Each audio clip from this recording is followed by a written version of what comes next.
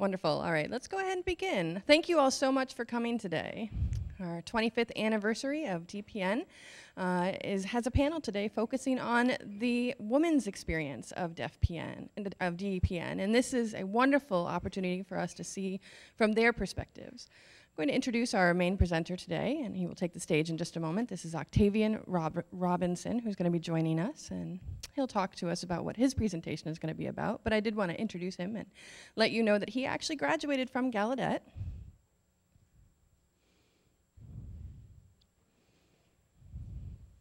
He is a Gallaudet alumni. He earned his bachelor's degree in uh, deaf studies and also earned his doctoral degree from Ohio State University.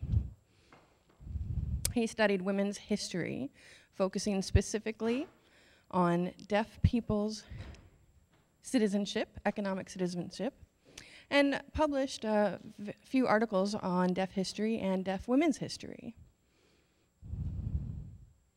While doing his dissertation studies, he actually is working on turning that into a book, which will hopefully be published for us to read uh, shortly. He's now at the Maryland School for the Deaf. He was the most recent coach of the winning Academic Bowl team from Maryland School for the Deaf, and it is our pleasure to give a warm welcome. I know it's more important for you to see me. In 1837, in uh, Ohio, opened their doors to women for the first time. Now, women who were going there had equal educational access, or they did not. Uh, what they did was have ladies' courses, and those ladies' courses were not standard courses. The expectations were not nearly as high as they were for men. And they didn't have the same coursework. Uh, their courses focused on what we would call domestic uh, skills. You know, duties as a wife and a mother were the focus of their degrees. So they had courses in cooking and sewing and good moral development. So that was Oberlin College. They were the first co-ed institution. Now we did have a few other schools and institutions that were for women only, but they were very limited in number. By 1870, we saw about 1.7% of women in America engaged in higher education. By 1848, there was a women's rights convention in Seneca Falls in upstate New York. And at that meeting, there was a lot of people who talked about voting rights, but they did also address other concerns and issues, especially related to higher education and women's place in society at the convention, they declared that women's education was limited. And they also said that in order for women to have a greater place in society, it was known that they needed to have thorough education. If women succeeded at women's only institution, they would never succeed otherwise. So there was a call for really having co-educational environments and having the courses and expectations be applied equally to both groups. After that convention, there was indeed an increase in women participating in higher education. After the Civil War, we saw even a greater expansion of colleges accepting women into their universities. Now, there was a lot of resistance, even though there was some increase, and it was fierce there was a number of different responses to women's desire to go to college. Uh, those responses were from scholars, from peers, from classmates, and they all argued against women coming into higher education.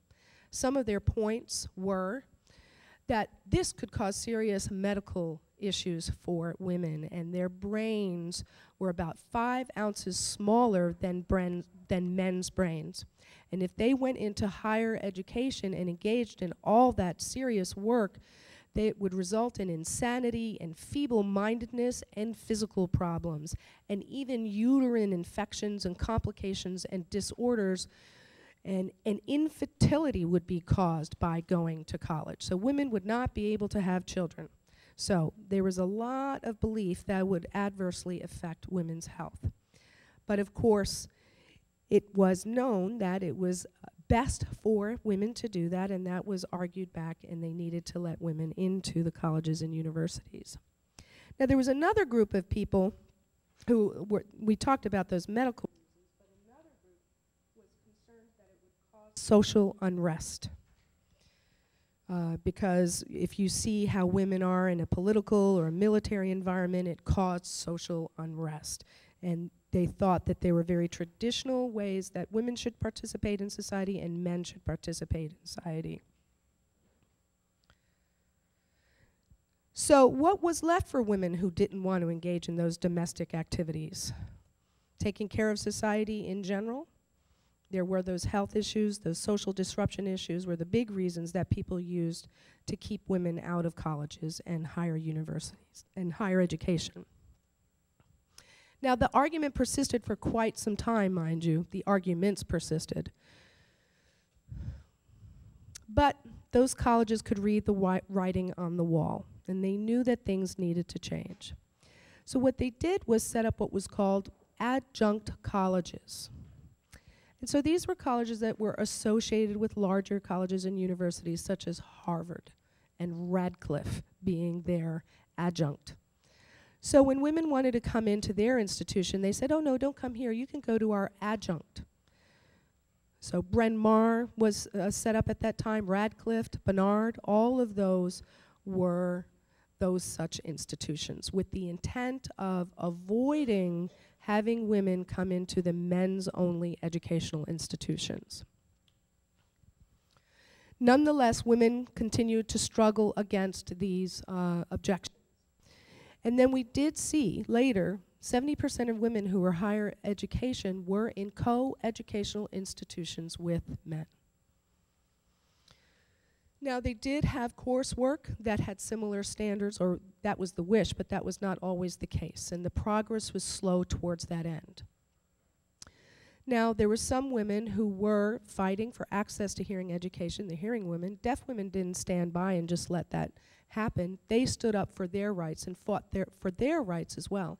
In 1864, when Gallaudet opened its doors, it invited both men and women into the university.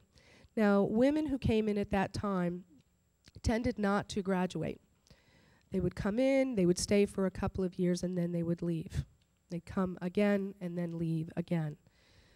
Now, historians feel that that case, that that happened, is because they did not have enough support systems for, for them here. They didn't have extracurricular activities, they didn't have proper facilities for them, and so forth. And it was a hostile environment for women. They were not uh, seen as equal at all, they were seen as second class citizens. By 1871, EMG himself decided that women don't succeed here, so we are no longer going to admit them, and he closed the doors to them. And they were closed for 22 years. There was no deaf woman admitted for 22 years. Now, there was a reaction to that, and deaf women did fight and send letters, and the LPFs, the Little Paper Families, wrote a great deal about that and objected to that, and they called for the rights of deaf women to be educated. And they said that Gallaudet needs to be a place for both deaf men and women. They said that hearing women now have lots of opportunities, and Gallaudet needs to provide an equivalent opportunity.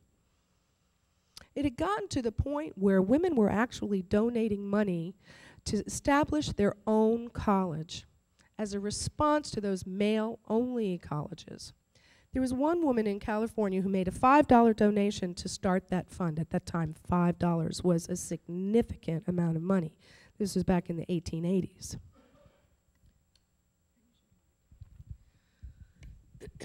So there was a lot of communication going towards, uh, going to EMG. In 1885, the Western Society of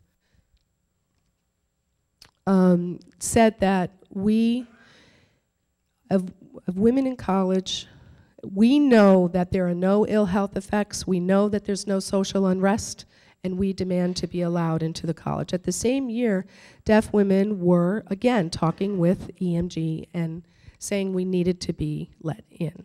But EMG's uh, response to that is we don't have facilities, we don't have housing, we don't have a proper cafeteria for you, so we cannot take you, and we don't have money for any of those things.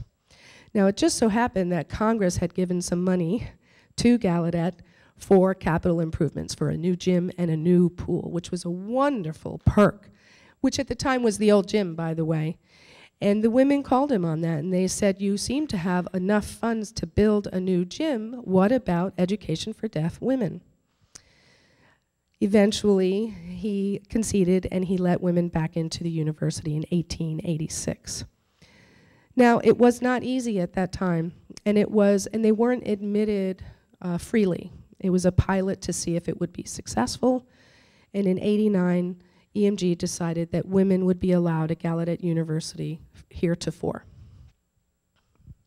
There was a first woman who graduated with a Bachelor's of Philosophy degree. Ottoman is her last name. And then Agatha Tiegel graduated with a BA degree soon after that in 1893. So women were here to say, they proved they, to stay. They proved that. In 86, it was not easy they were here, but it was a lot of struggle. There was a lot of sexism. There was a lot of resistance and oppression and marginalization of women students here on campus. They, again, were seen as second class citizens. Often, if uh, men and women were waiting in the cafeteria, they were harassed, they were teased, they were exposed to inappropriate comments and, you know, the men had lots of different groups the drama club, the literary club, and so forth, but women were not invited. If they were to be included, they had to be specifically invited by one of the members, which was male, and then they had to be chaperoned. And if they then came into those uh, meetings, they were asked to sit in the back and be quiet. Again, very much second class citizens here on Kendall Green. And the women suffered through that. They persevered. They did not take it easily. They fought back. They continued to fight. Issues were shared in valedictorian speeches, they were shared in cartoons and in articles and in dialogue. There were a lot of different ways that women expressed their resistance and expressed their critique to climbing the social ladder here on Kendall Green. So they actively resisted that oppression.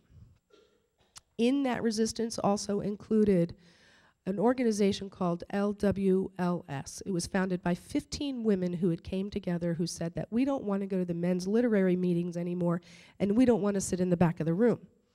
We want to be involved with theater and we want to engage in intellectual uh, dialogue. We want to have an intellectual life. So in 1892, Agatha Tiegel was the pre first president of that organization.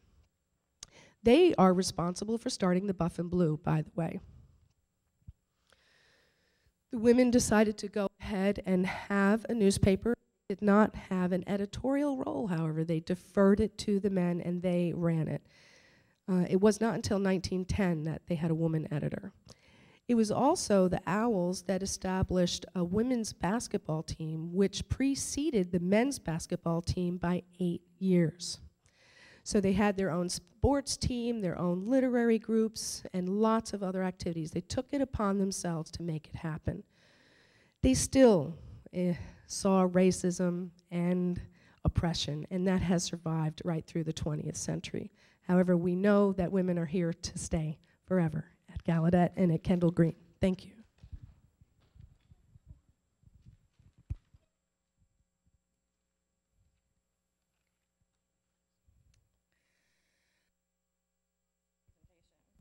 Uh, thank you so much, Octavian, for for your for sharing that information with us today. we would now like to go ahead and introduce our three panelists and our moderator as well. Let me see who we're going to start off with.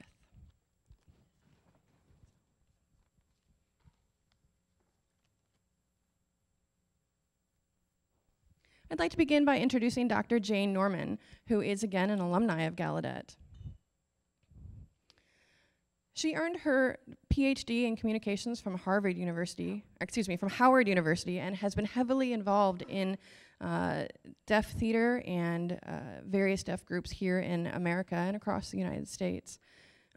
she was involved in Deaf Way 1 and Deaf Way 2, the National Theater for the Deaf,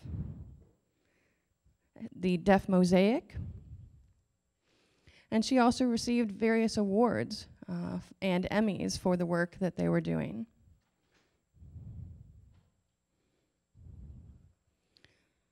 She was also the producer and director of the World Deaf Film Festival here at Gallaudet in 2010, and she currently is the director of the Gallaudet University Museum. Welcome, Jane. We're thrilled to have you. Now I'd like to introduce Jackie Roth, who is another alumni of Gallaudet University. She's had a number of jobs throughout her career here, including entertainment, education, law, advocacy, and is currently involved in real estate. She was actually the uh, she played the character of Sarah Norman in Children of a Lesser God and toured nationally. She produced Sound and Fury. I think you probably remember that PBS production a few years ago. And she's also been a member as well as president of various national boards, including president of Deaf Women United. She's currently vice president of Elliman in New York which is a real estate agency in New York City. It is also my pleasure to introduce Dr. Mary Keene. She earned her master's degree from NYU. She started working at EPOC here on campus, which is now the Career Center. And she worked as coordinator of residence education for 10 years. She most recently earned her, her doctoral degree in special education administration, and she's still working as the campus activities director. So thank you, three women, for being on our panel. And last but not least, I would like to introduce our First Lady, Vicki Hurwitz. Vicki has been heavily involved with the deaf women and the deaf community. She studied deaf women's history,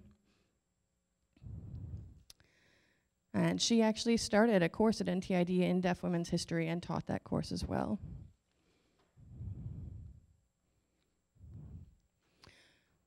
She's been involved with Deaf Women of Rochester, Deaf Women United, and has served as executive director and then later president for Deaf Womenism. So it is our pleasure to have Vicki here to moderate our panel, and I'd like to invite Vicki and our panelists to the stage at this time.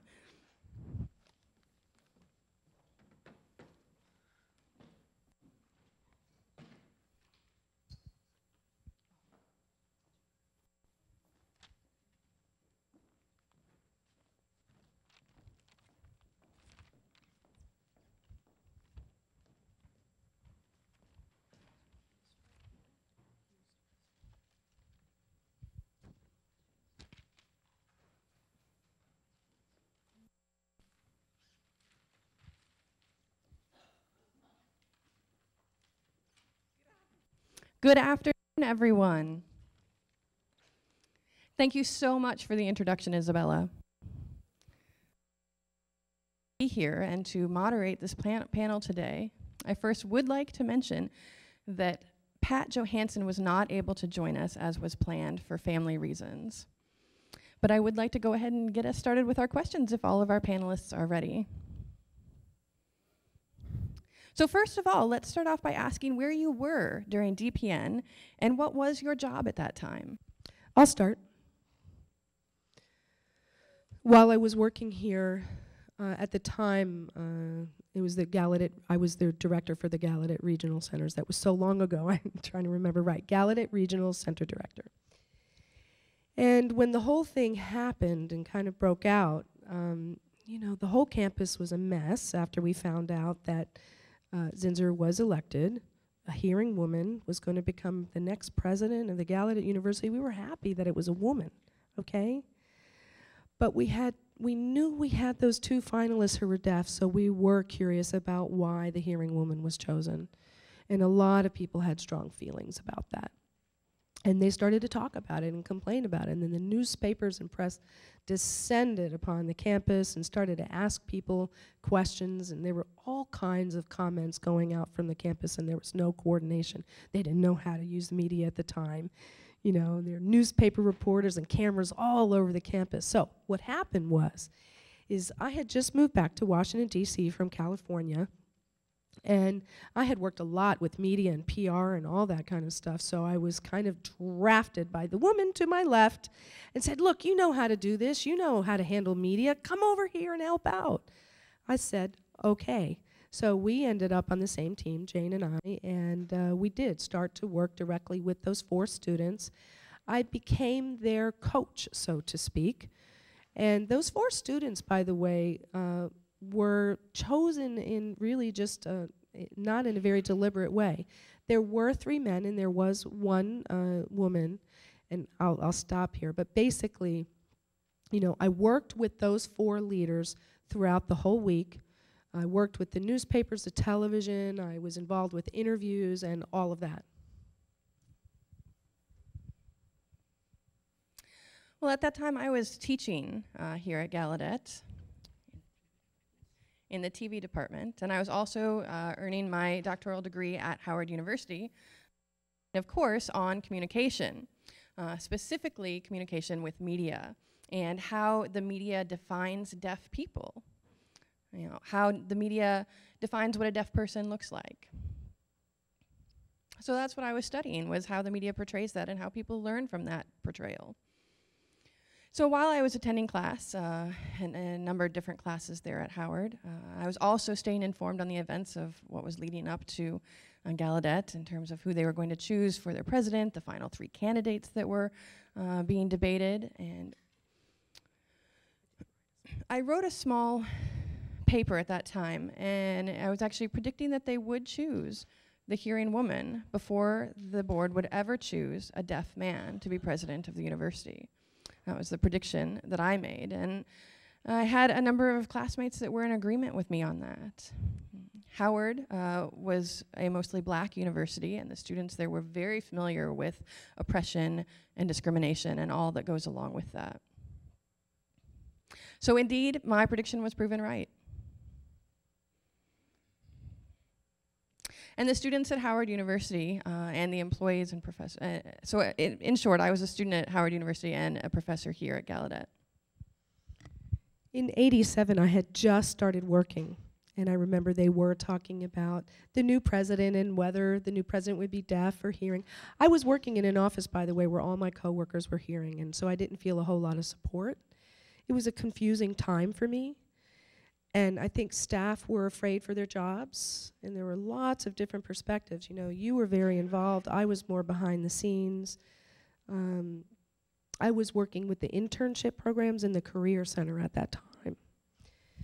I'd like to know um, to what extent were you involved with the deaf president now, and what did you do specifically, and then also why? If you wouldn't mind, I'd actually like to answer that question. You know, as I just said, I was attending Howard, Howard University, and my classmates and I were engaged in discussion around this. And we could see the upheaval starting. You know, we were trying to encourage the faculty to call a meeting, and the faculty were unsure about doing that, and, and they finally did indeed decide to come together, and, and I believe they met in this very room that we're in right now. Yes, it was. It was right here on very stage. Right, right here on this very stage. Uh, if the walls could talk, my goodness. But we did, uh, the faculty did come together here. And I actually brought a friend of mine, Waki Muzmal from Howard University, uh, who was one of my classmates. And through the protest, um, you know, I had already experienced uh, a protest previously, and so I brought this friend with me. Uh, you know, I dragged her along with. I asked if she would come, and I talked about the fact that we had had impact. We were already on the front page of the New York Times, and so for Wakila, it was a question of what do we do now. And she delivered a message that she said simply, what we do is stop the system. We pull the emergency brake on the system. That was her message. Stop everything. Stop classes. Stop the support. Stop everything that was happening. So that was one way that I was involved. I was also involved, uh, let's see. Gallaudet had two PR camps. Uh, there was the Gallaudet PR camp and then also the DPN uh, PR camp. And I was involved as P uh, PR manager there for the DPN camp. And I knew that there was only one person on earth that I could work with, and that was this woman right here. I knew that Jackie brought so much with her. I knew other talented women as well, and we had uh, hearing women who were able to sign that were able to work with us as well. We would go with Yerker Andersson to the bar, and Nancy Connors as well. Uh, and we were all focusing on the press. We were talking about the TV and the radio press that was coming out of this. And they were truly a dynamic team. The media didn't even have a chance with them. How about you, Jackie? Remind me what your question was. What was that? What was my exact role? Right. Right. How were you involved as a participant? As I said, I worked with those four students. Now, again, when it first broke out, in the first day, it was very chaotic. The second day is when we met here, and I do remember that very well. Right here, and we all were asking ourselves, what next? It was disorganized. Everyone was saying one thing and then a different thing.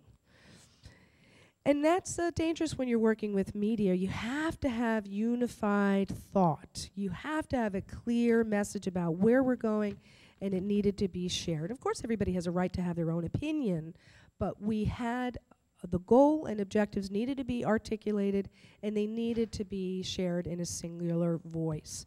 Why was it we wanted a deaf president? What was that about? And what were we ready to do in order to get that goal met?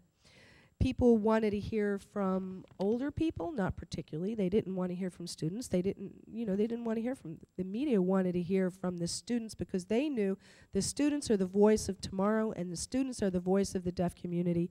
Us old folks were fairly insignificant. Okay, so there, there were the four kids who didn't have that kind of background or knowledge in media, so that was my role. I did work with the council um, and that was mostly faculty and staff, the official media body who did uh, lead the protest movement. And they would fill me in on what the agreements were and what needed to happen again, because we wanted to be unified. S and every day it changed a little bit. But our four demands did not change, they were consistent. So we had those four students, and we put their faces out representing what it is that we were thinking as a group and what we wanted to achieve. So Every morning, what we did was Connie would go ahead and take care of the press, and then I would take care of TV. You all remember the Nightline uh, interview with Greg Hlibok, okay? I actually went with Greg to New York City. Uh, we were on Nightline. I was standing in the wings, making sure that, you know, he knew exactly what to say. Actually, sorry to correct you. Uh, I was on Nightline with Greg Hlibok and uh, Gary Olsen. Olsen as well and Greg's brother here in D.C. I no, think I flew to New York. No, I think Nightline happened here. I think what you're thinking of is the Today Show. Uh, there was a there was a different show that you went to New oh, York for. I mean, we had a number of different interviews going on at that time. See, it's been 25 years, and there was a lot of shows that I were involved with. So, but at the very beginning, they elected their own leader. You know, and Greg was kind of given that role, and it was easier to have a single face at in the front of everybody. Yet each of them had different characteristics and personalities. And my job was creating a rap sheet. You know what that is? It's, I would say every morning, I would say, What is our message for today? And I would hand it out to everybody so we all had the same message, including faculty and staff, in case a reporter caught them and asked them a question. I didn't want them to be ill prepared either. So that was my job, essentially, uh, and that was it through the end. And she did a marvelous job at that. Absolutely, they did an outstanding job. There was a lot going on with DPN, and I, I was helping sort of behind the scenes. Uh, we held uh, meetings in uh, the conference room in my area. I was providing copies of paperwork that everyone needed. So, really, just being there to support and help out as needed on a daily basis. Yes, I was involved. I believed in the mission. I believed that we needed a deaf president. And I didn't know about Zinser as a selection. I thought it was time, and I was supportive of it, absolutely. If you could just pick one or two things that is most significant for you or most memorable during that week, and also tell, tell us why.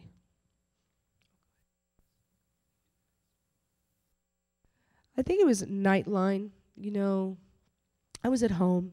I was watching that. That interview with Marlee Matlin, where she was arguing with, who was it? I forget. Who was the guy's name? was a couple or I don't know, and they really were having it out, and it was very, very powerful. And I thought they did a really amazing job, and that stands out for me. It really, really does. Okay, say why. Why does that stand out for you? I can't say it was so powerful. I knew that the whole nation was watching this. And the second one was here in this room with Jane.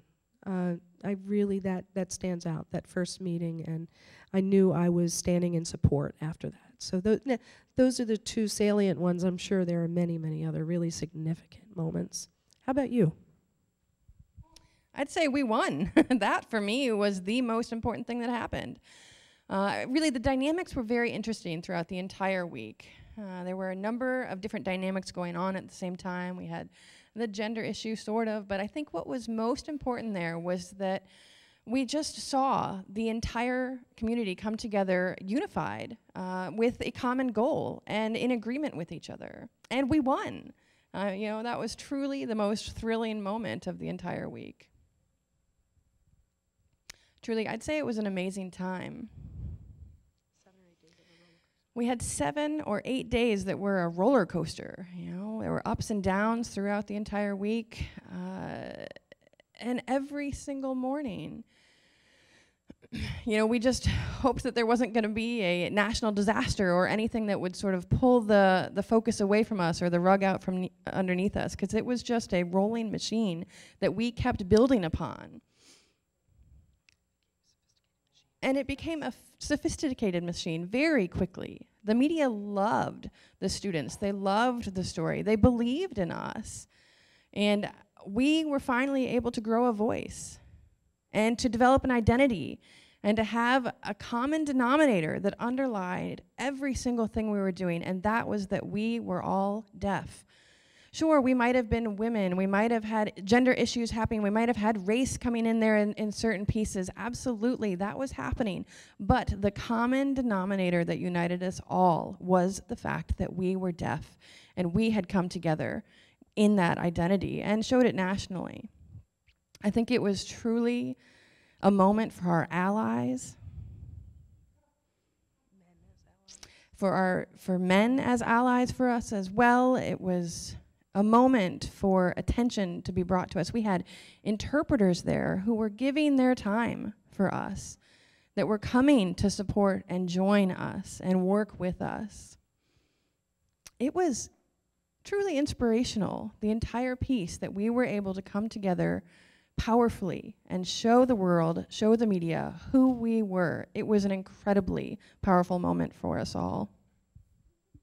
I remember seeing that and I was so impressed. I remember there was one press conference where the four leaders uh, were here and Dr. Sussman was here as well. That was a powerful moment too. Do you remember that press conference? I, I do. I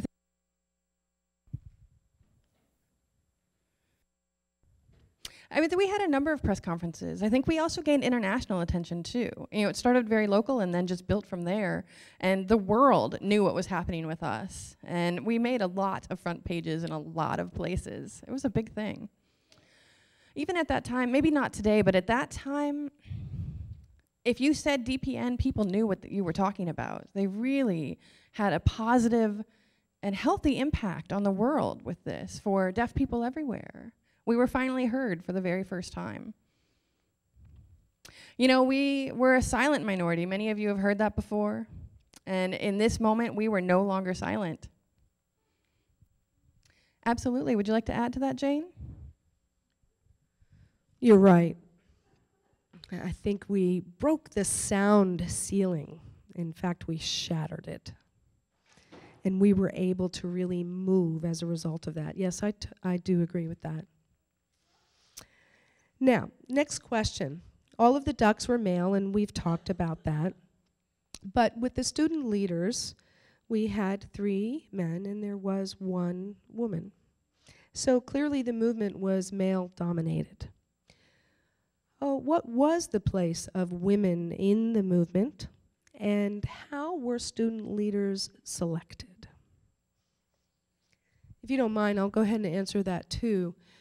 Um, the four student leaders were chosen by the seven ducks and they really led that process. And they're wonderful people, okay? They led this, and there were brains behind it, and there were plans and strategies. And they identified those four students, and they understood that it wouldn't look right if they were all men. They were conscious about that. So they consciously went out of their way to make sure that one of them was a woman who happened to believe that it was very important to have a woman as a president. Okay, so she very support she very strongly supported that idea. So Dr. Alan Sussman and Dr. Roz Rosen spent some time with her and talked with her. Brigida born Furl, uh, who was very sharp and very articulate. And she stood strong in her beliefs, and she felt like it was the right time to have a woman. We talked about this in depth. And eventually she signed on. She was going to sign on to, we needed a deaf president. And that's when she was added. However, they were all white. Uh, but there was that woman representation. For the most part, during the movement, women were expected to provide support.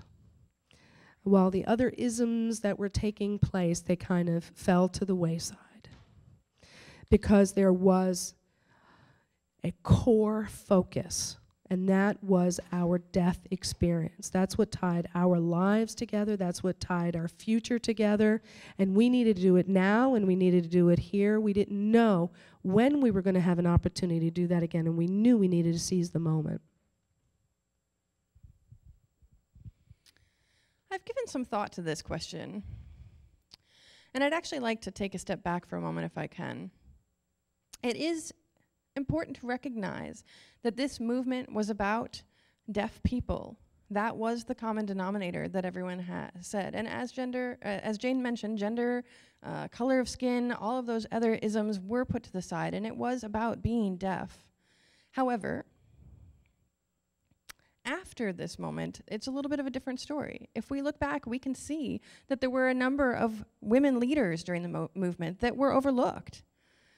You know, as I was riding the train to come here today, I was thinking about my experience uh, in education and, and thinking about how we have gender specific uh, sports teams within schools.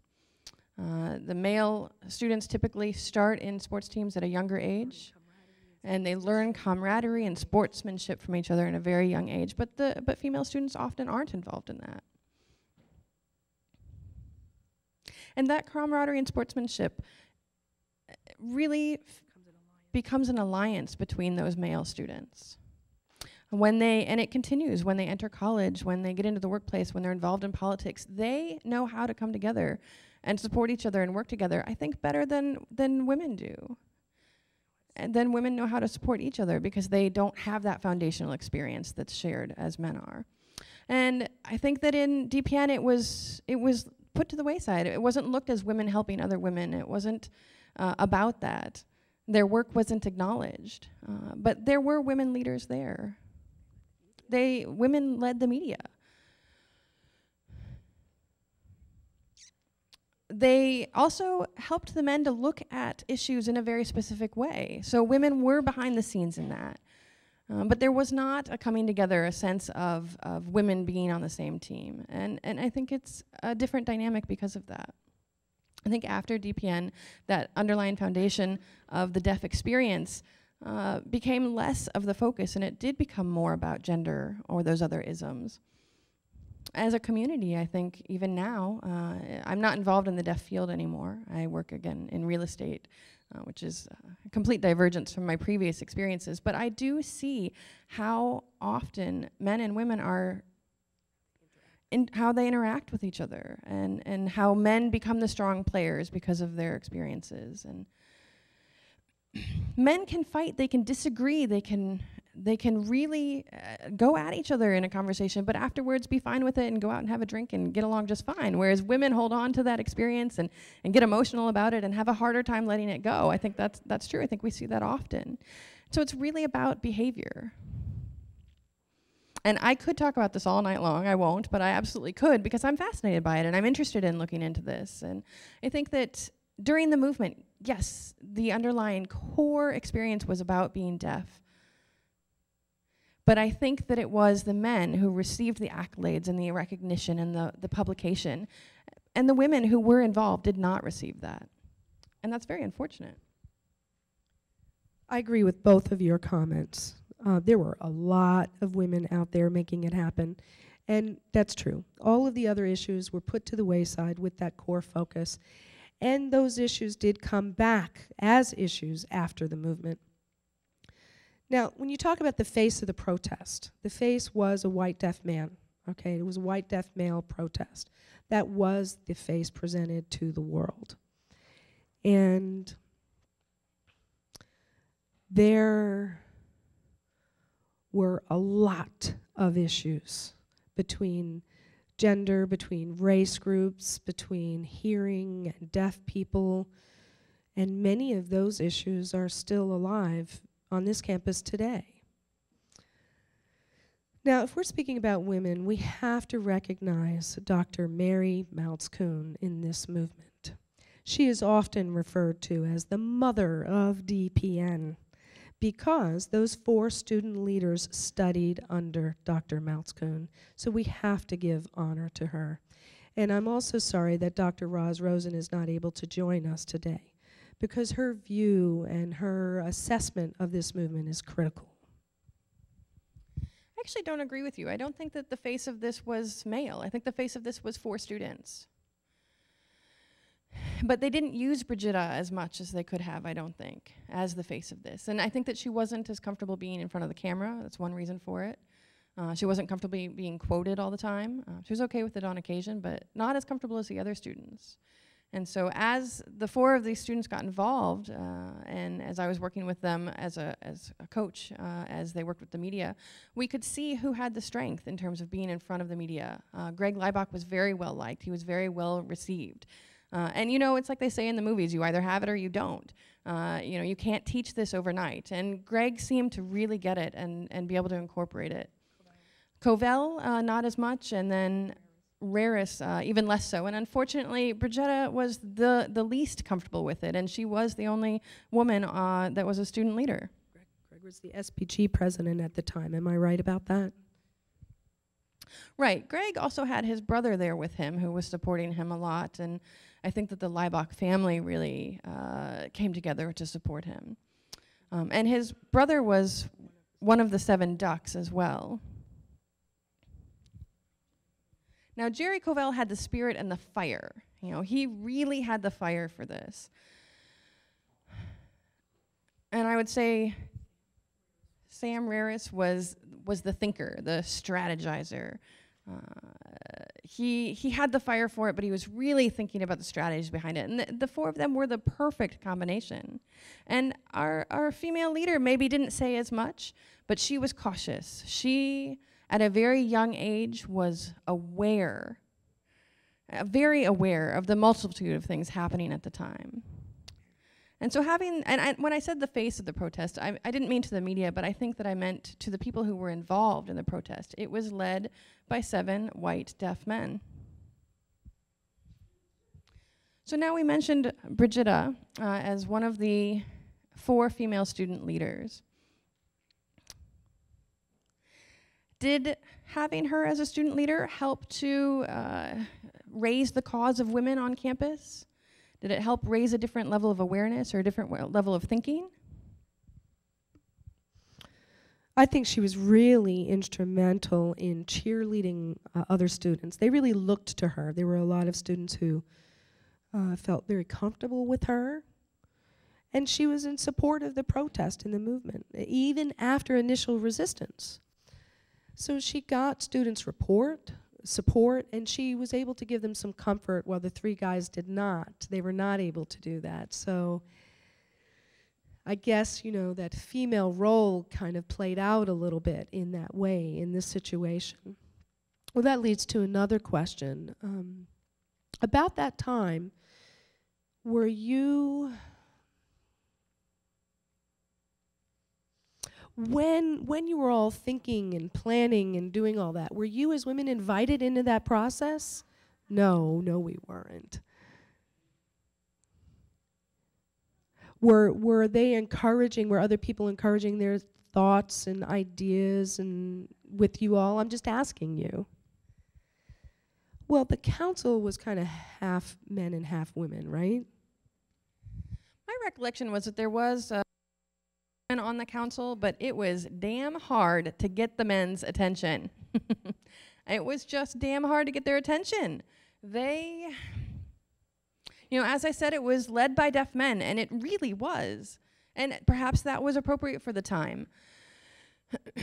but I'd say it was, you know, there were daily meetings happening, and so many different ideas coming to the fore and so many different views being shared, and it was all important. Um, but it definitely was not easy for the deaf women to get the attention of those deaf men at that time, uh, especially on the council. It was a little bit easier for Dr. Roz Rosen. I'll say that. I think that she probably at the time had, um, let's see, she was the highest administrative, she was the highest administrative female position held on campus.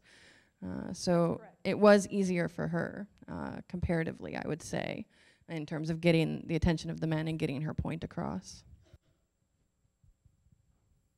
Do either of you have thoughts you'd like to share?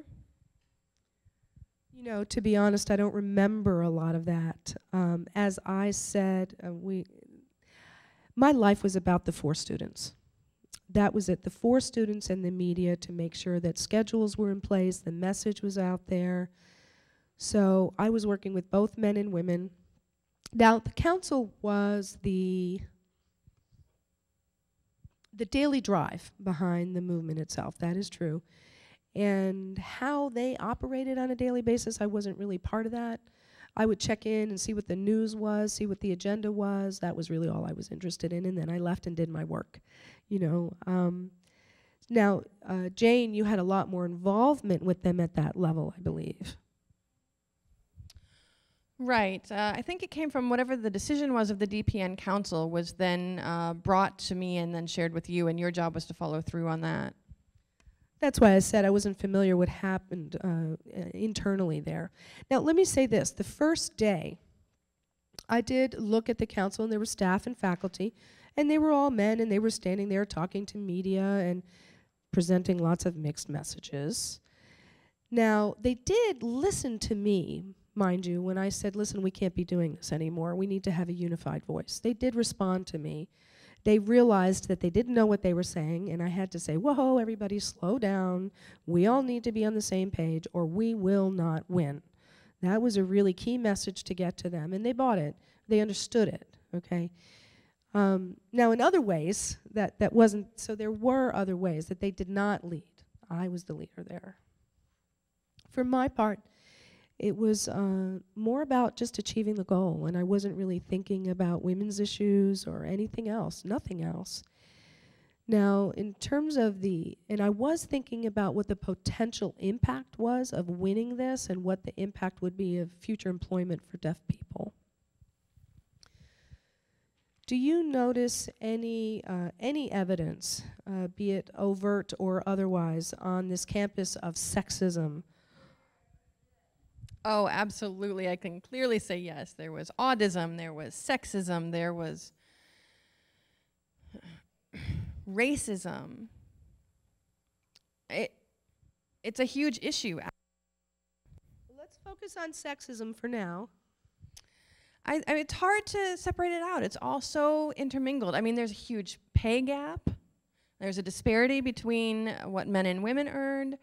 Uh, it's huge. You know, I worked uh, on the financial committee, and so I was very aware of that pay gap. Uh, racism and sexism, I think, were the most obvious. We had white men in management positions. Almost every administrative position was a white male, and they earned more money. So, absolutely. Now, I don't think that I saw racism as much. I think that perhaps that really came to the fore afterwards, not during the movement. I think it was a smaller piece then. Um, now, uh, we did not include people of color. We didn't. Uh, but I don't know that it was an issue. It, it didn't feel as, it wa- as if it was to me. Okay, let's stick to this sexism topic. I don't think it was blatant. I don't think there was blatant sexism. I think there were a lot of old traditions. You know, old habits die hard, and men were just used to being in control, and it, was a male-dominated society, and they weren't often challenged by women. You know, oftentimes women just followed their lead and still do to this day. I see your expression over there, Vicki. I see you. Uh, but I, I think that even today, you know, if we had, we have perhaps stronger deaf women now than we did at that time. I think perhaps that was a point of a breakthrough for, for deaf women. Again, the racism piece I think really came into play afterwards. Um, and during the, sec- the second protest, I think it was much more an issue, but not so much during that during DPN. Mary, do you want to share anything?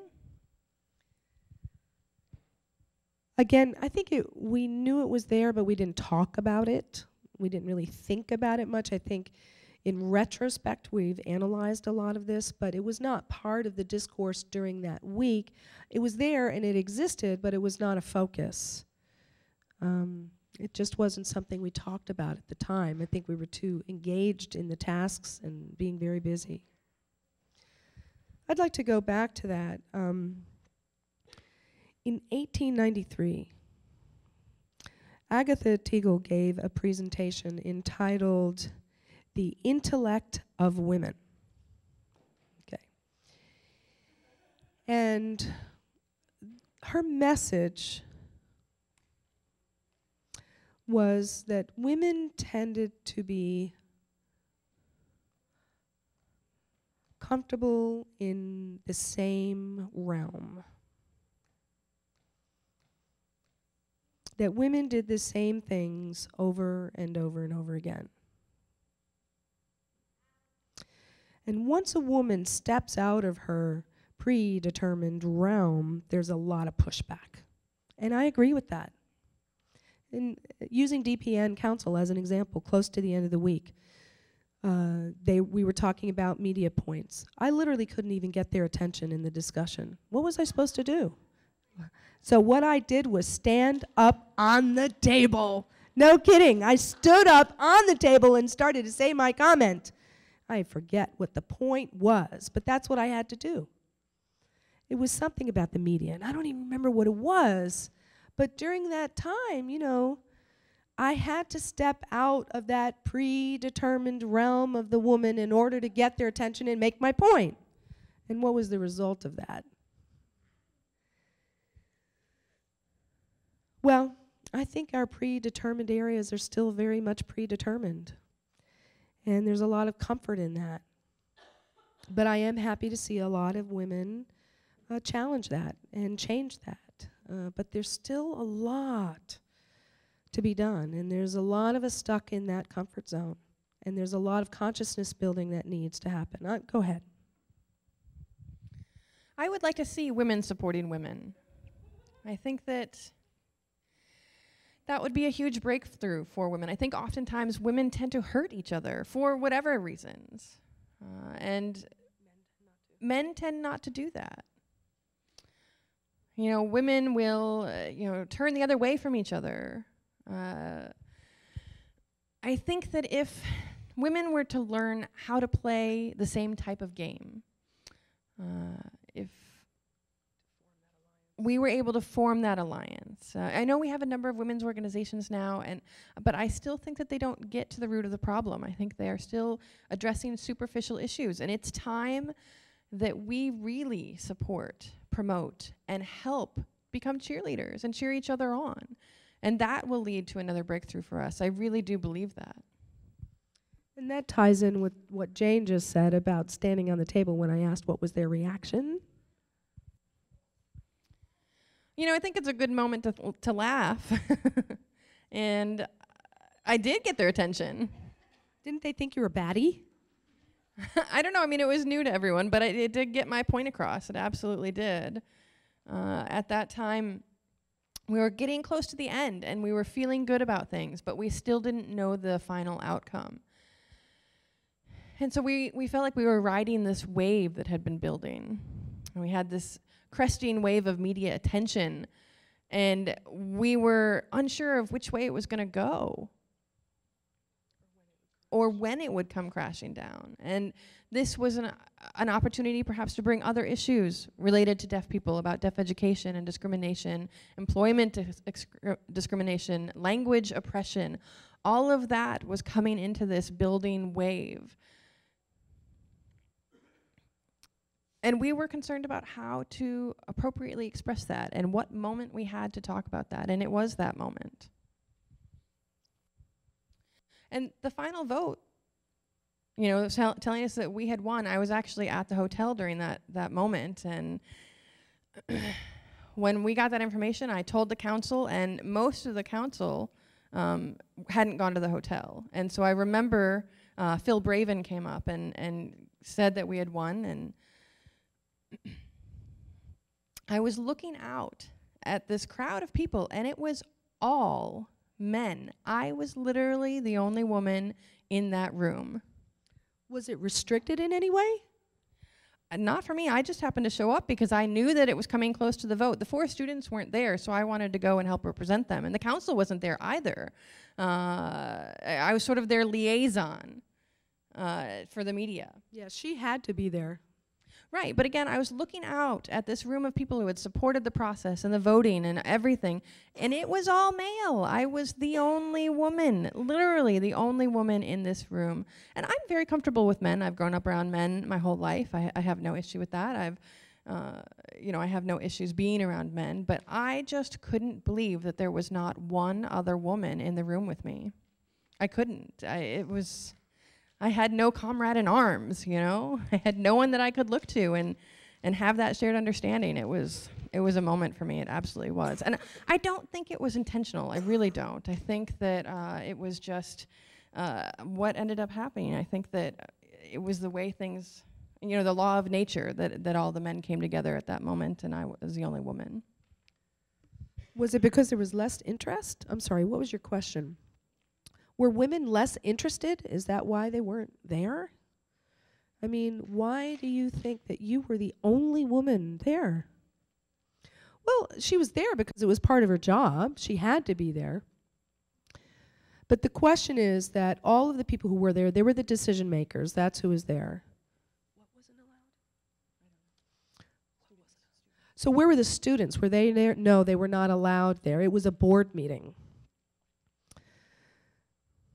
So there was the board meeting, and then there was all the people waiting for the results of the board meeting. And all of those people waiting for the results were men, except for me.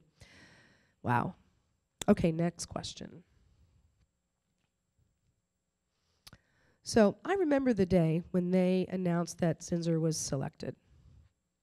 Do you have any evidence that people resisted her selection because she was, in fact, a woman?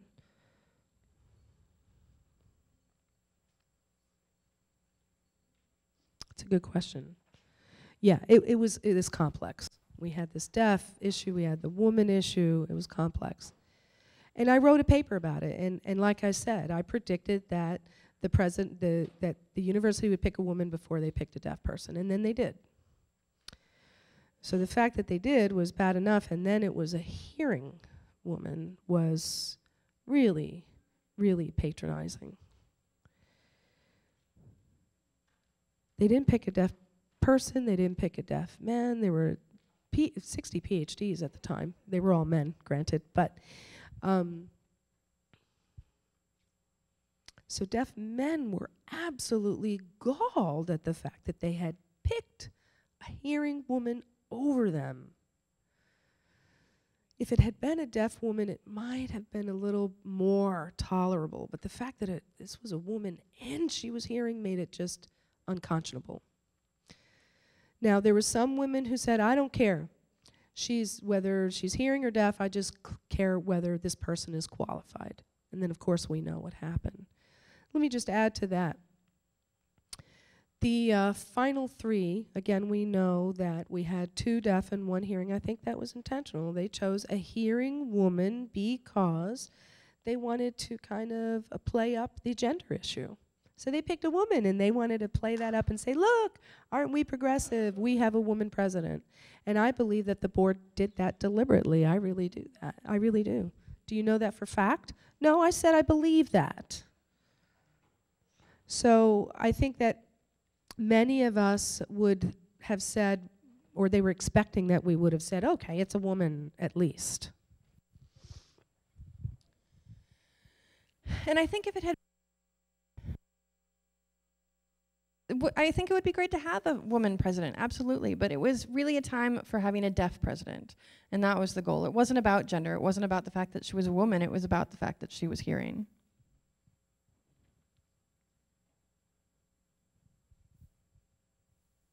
You've already talked about this, but could you perhaps talk a little bit more about the role and place of women on campus At, during that time, specifically during the movement? Let's see, that was 1987. And if I remember, Dr. Roz Rosen was the only female administrator. I think, I, I, am I correct in that? We only had one, one woman in an administrative role? Right, we had one white deaf woman in an administrator role. Mm-hmm. Yeah, women just weren't involved in the uh, administration much at that time. What about in general in the in, in the 80s? What would you say?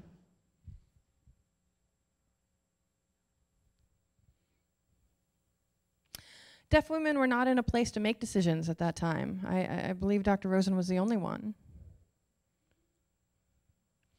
Well, I'd like to ask more about the place and women, uh, the place and role of women across the world. You know, we could talk about the United States or or outside of the U.S., but just in the 1980s, what was their role and place at that time?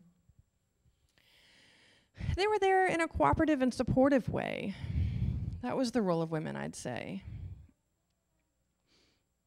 I do remember Dr. Dr. Debbie Sonnenstrahl, Dr. Betty Miller. Uh, Dr. Dr. Betty Miller was tough. Uh,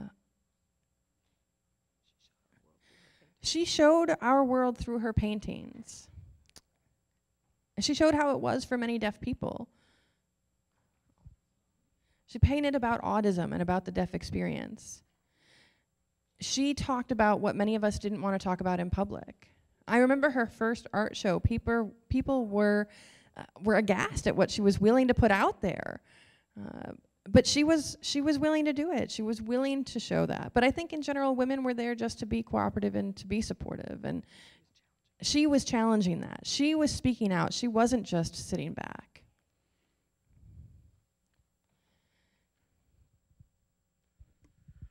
I think in the 80s, a lot of women were moving into the business world. Uh, so we had some role models in, in the 80s, I, I, believe. It was really took off and then.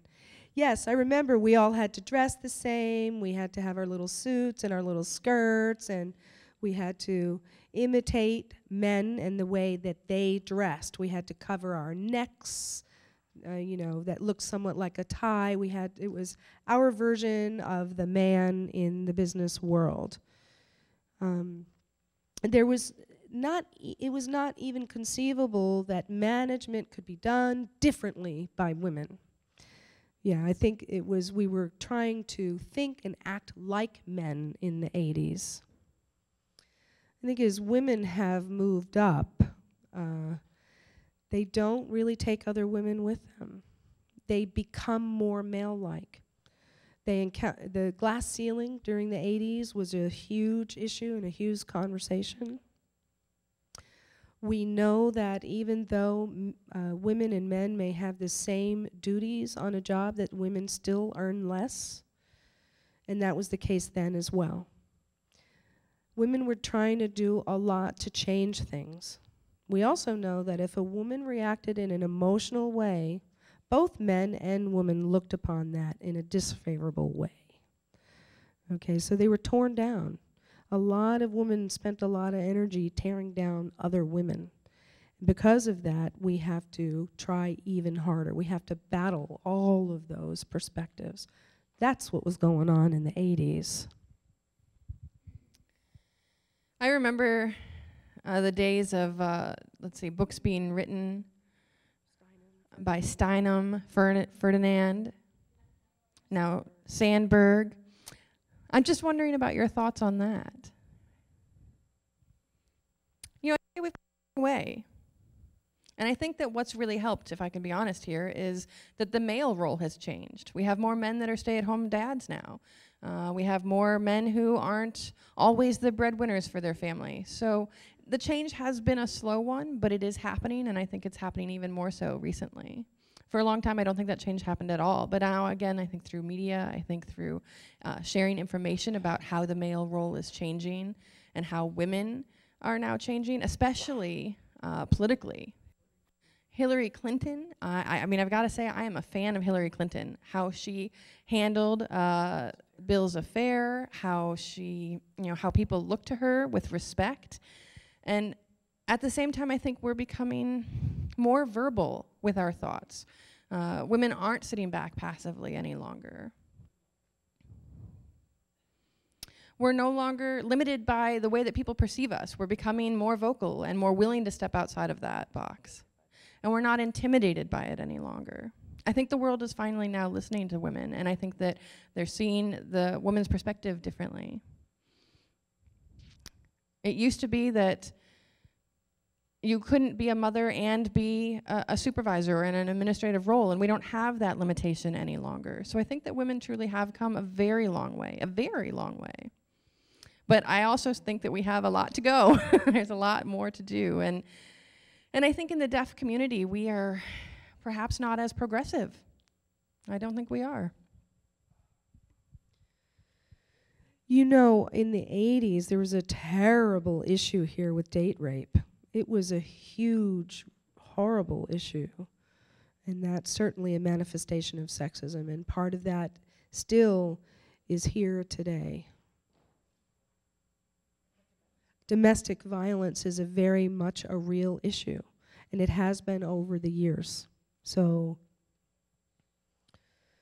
we may look all modern and progressive, but if you look underneath, you might find that that's not the case. I think, as Jackie said, we have a long way to go, especially in the deaf community. I think you're right. Uh, let me say this. Um, I work with students a lot. And three years ago, I was in a meeting with student leaders, and I noticed that they were all male. And they were every year, year after year after year. Finally, in these last two years, we have a female leader at the table, and I feel better. This is another example of the fact that we still have work to do. And this is recent. You know, okay, good. We have a deaf president, and that's great. But the presidents of our SBG and the leaders, the editors of Buff and Blue have pretty much been male for many, many years. You know that banner, We Still Have a Dream? You remember? You know, the banner that was used during the march? That was so important. And I was looking at some old pictures, and and it made me realize yes, we do have a dream. And, and we do share that with black people. But if you look at the picture, it's all white people carrying that banner. So, what is our dream? How do you define that dream? Is it true equity? Does it include women? Does it include all skin colors? Does it include uh, e- economy? Are we just carrying the banner? What are we doing? What does this really mean to us? And that leads to the last question. In thinking about everything that you have said up to this point, what do you think the most important lesson was from DPN for yourself that you think other people need to be aware of? Wow, I think hmm, I'll go ahead and start this one off. Uh, in terms of a lesson, uh, we look at DPN, which happened in, in 1988 and to current times of 2013, I think that deaf people have made a number of breakthroughs. You know, we've opened the world's eyes to the deaf community, to our culture. We've seen so many additions and recognitions to the deaf community in these past 25 years. And I hope that we don't lose that. I think that the lesson really is that we can never stop working. We are still a very small community. We are not the masses. You know, the world is a hearing world. And sometimes it's you know interested the hearing world is interested in deaf people and sign language but dpn's lesson to us truly is that at that time our message was one of pride education collaboration and that needs to be continued. We cannot stop working now. And i see that we have stopped working we have become isolated again as a community. We're fighting again for recognition, the same as we did before. The same issues are coming uh, with our community again. And, and I feel like this is what we dealt with in 1988. So uh, I think that would be my message that I would want carried forward. I do agree with Jackie. Now, I happen to have deaf parents and in 1988, my father was 72 years old and had already retired at that time. He was actually born in the year that uh, EMG retired from Gallaudet. And at the time that EMG passed away, my father was seven years old. And I think that, you know, that wasn't that long ago for us. It really wasn't, if you think about it in those terms. Now, my father did participate in DPN. He participated in the march to the Capitol. He was watching everything that was happening at the time. And once all was said and done, I sat down with him. And he said, I never in my life thought that I would see that. That's a very powerful statement. To me, 1987 was more about empowerment to the deaf community. And I think that we have lost that. We need to remind people about why DPN happened. And we need to carry that reason forward. We need to carry it into our future generations and carry it forward with our children. Again, it's about the power of the media. How do we capture those seven glorious days where we held the attention of the media and we came together and were able to tell the world what was important to us. That was a powerful seven days. It was really a new way of communicating for us. It was, and I think what we could do is learn more about that, about the work that happened, and, and, and about what's Jack, what Jackie's talked about as well. Now, unfortunately, we do have to close, but I want to thank all of our panelists here. I hope that what they've shared with us today has had an influence on our audience and that we'll all continue to continue our thinking and continue our work and continue to think about the next future possibilities for deaf women. As was mentioned, I uh, taught a deaf studies uh, course, women's course at NTID.